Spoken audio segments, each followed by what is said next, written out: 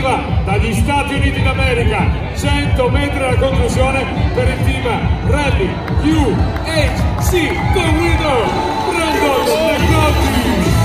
La tappa di ieri con traguardo a Ragusa è stata quella che ha svelato il giro, con il suo nuovo protagonista, un americano ventunenne, ex campione del mondo juniores a cronometro. Abituato in pista, ieri ha dato il meglio nel percorso che più di tutti era il suo posto. Poche pianure da Caltanissetta a Ragusa e un continuo saliscendi. Micidiale la salita dalla pianura di Gela verso l'altopiano Ibleo per i tornanti di Comiso e Chiaramonte. Ancora di più la risalita da Ibla dopo la discesa per le vie e i dedali quartiere barocco.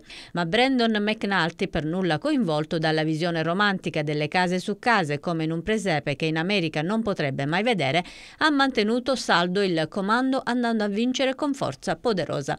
Molte le cadute dei ciclisti in una tappa condizionata dalla pioggia, ma alla fine il trend agonistico del tracciato a retto. Senza discussione il suo vantaggio, 55 secondi, enorme per una gara di questo tipo e in queste condizioni ambientali. Sul podio, terzo classificato, c'è anche il siciliano Giovanni Visconti, Neri Sottoli. Secondo il norvegese Heiking Hod, convinto di aver vinto la frazione, è arrivato con le braccia al cielo. Gli era sfuggito che avesse già tagliato il traguardo McNulty, nuovo leader della corsa grazie al fatto che nella terza tappa ha vinto praticamente tutto. A lui la maglia giallorossa. Oggi è stata una giornata difficile viste le condizioni meteo, ma mi sentivo bene e ho attaccato al momento giusto. Sono in una buona condizione e la squadra mi ha dato un grande aiuto, aiuto di cui avrò bisogno anche domani per provare a difendere la maglia di leader.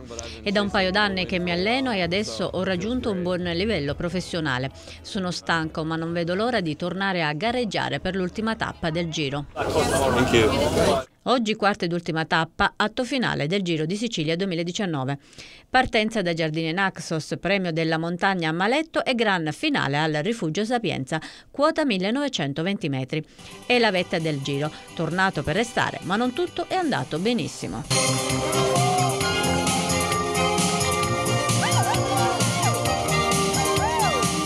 Grande vittoria quella ottenuta da questo ventunenne, un grande Brandon McNulty!